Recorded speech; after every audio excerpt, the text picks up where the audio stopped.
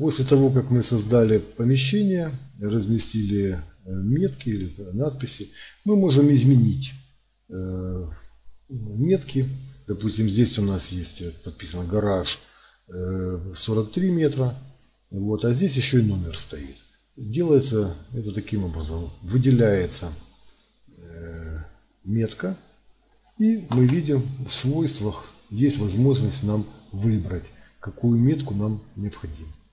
Вот, допустим, выбираем номер, имя, площадь, объем. Все, вот у нас она изменяется. Так можно проделать со всеми остальными метками. Теперь создадим спецификацию э, наших помещений. Выбираем вид, спецификация, ведомость спецификации. Здесь выбираем категорию помещения.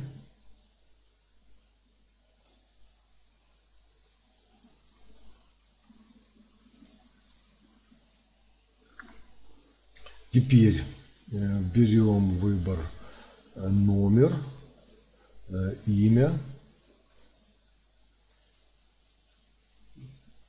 площадь, объем, можно даже периметр выбрать.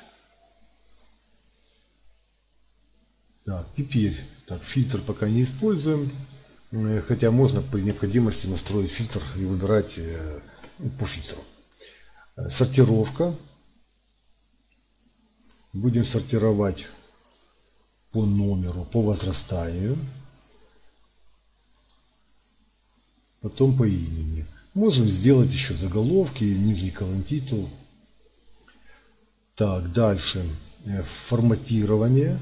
Выбираем площадь. Да, извините, пропустил.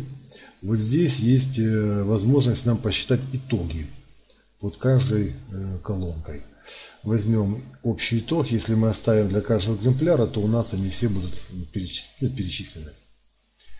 Так, э, форматирование, э, имя, площадь. Вот площадь, берем площадь, не рассчитано. Э, вычислить итоги, объем, вычислить итоги, периметр, вычислить итоги. Все, вот мы видим, у нас получилась таблица, спецификация помещения, где есть э, номер помещения, его имя, название, площадь, объем и периметр. Э, здесь у нас указано все в метрах. Для этого надо перейти в управление и, и если у вас в миллиметрах стоит единица измерения, значит посмотреть и исправить. Ну, в данном случае я в метрах поставил.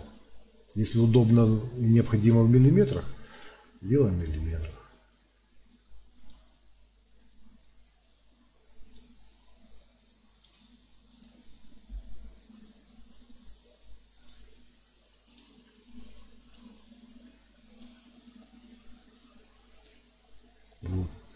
Сейчас, вот видите, были э, миллиметры, стали метры.